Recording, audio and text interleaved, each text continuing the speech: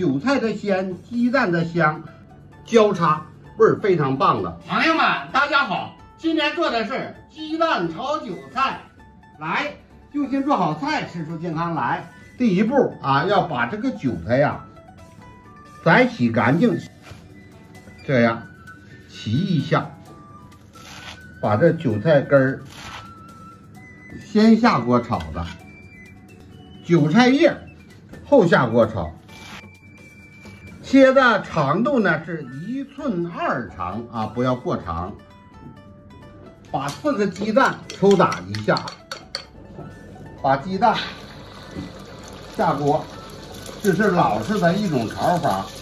过去老师傅说呢，鸡蛋炒鸡蛋就是炒鸡蛋，里头别加底口，因为呢，我们炒的韭菜呢，时常会出水啊，它一出水呢。汤水啊，让鸡蛋吸收了，啊，看看大核桃块，哎，看看这个颜色，看看能不能看清？能。哎，这个就叫虎皮色啊，这个效果是最好的。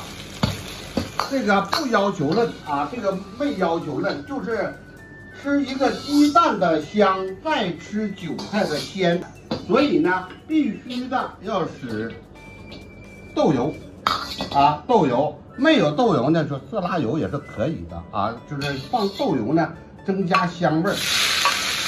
把韭菜根先炒一下，韭菜根炒至变绿，就是六成熟，加上盐，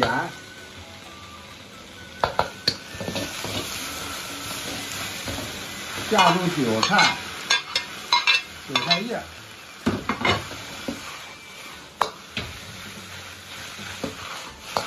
哎，翻拌均匀，速度要快。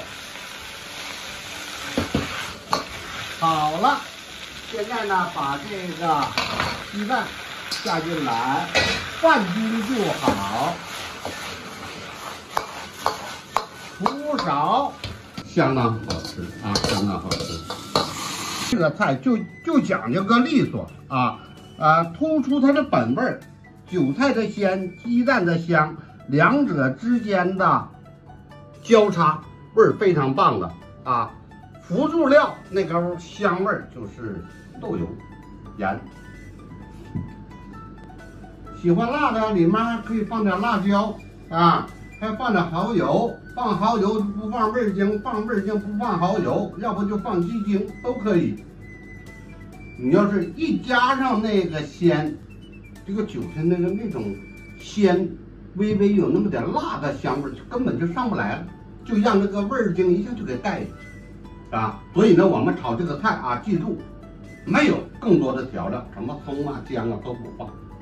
好了，今天这个菜品我们就分享到这里。有什么需要的话呢，在我最新视频下方留言，谢谢诸位观看。